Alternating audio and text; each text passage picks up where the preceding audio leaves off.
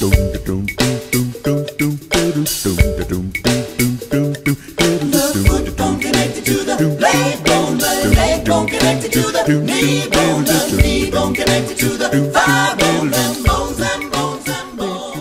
my name is Bones.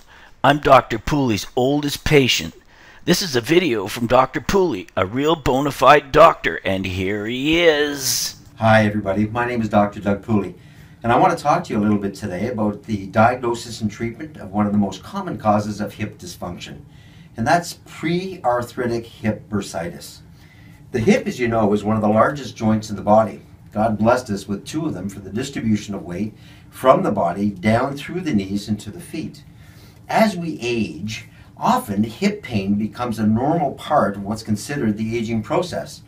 But unfortunately, if it's left untreated, a lot of hip pain can deteriorate to the point of becoming an arthritic concern and then ultimately leading to hip replacement. You, this often doesn't have to occur. Although there can be many different and varied disturbances that can occur in a hip, the most common, of course, as I mentioned to you, is the pre as the trochanteric bursitis or pre-arthritic bursitis of the hip. This is a condition that, once diagnosed, can be readily treated with a combination of ultrasound, interferential current, ice, massage, and the right exercise. Hip pain of this nature often develops subsequent to, as I mentioned before, repeated strain to the area.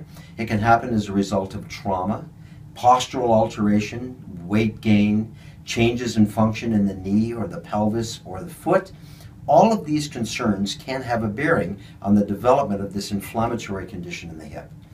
Usually, treatment for this condition, providing that there is no underlying arthritic change that has occurred, uh, can be quite successfully completed within a four to six week period. But in doing so, often what you do is you revitalize the hip, and, and this in turn helps to offset any of the deterioration or irritation that may have occurred as a result of the postural alteration in the hip joint itself. So I, I strongly encourage you to see a chiropractor if you are experiencing this sort of dysfunction before it becomes too late.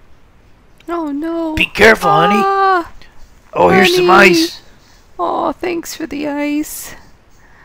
Oh, we better see Dr. Pooley. Someone better call the doctor. In closing, if you are experiencing any sort of chronic hip dysfunction, if you're experiencing pain, prolonged pain upon sitting or change of position, if you find that at night you're having difficulty sleeping on a hip as a result of the pain associated with it, then I strongly encourage you to seek out a chiropractor of your choice with the methodology necessary to correct and treat this dysfunction. Because left unattended, almost invariably it will deteriorate to something requiring much more much more intense intervention and with that of course serious dysfunction disability and change in quality of life thanks Now that she's feeling better, me and the old bag of bones are going dancing. It's humorous to see her break dance.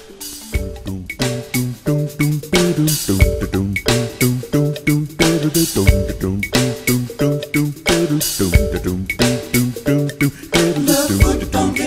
the bone, bone knee bone, the knee bone connected to the thigh bone, bones, bones, bones. The thigh bone connected to the backbone, the backbone connected to the neck bone, the neck bone connected to the head bone, bones, bones, bones,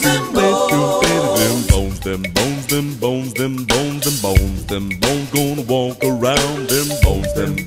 them bones, them bones, them bones, them bones gonna walk around. Them bones, them bones, them bones, them bones, them bones, them bones gonna walk around. Them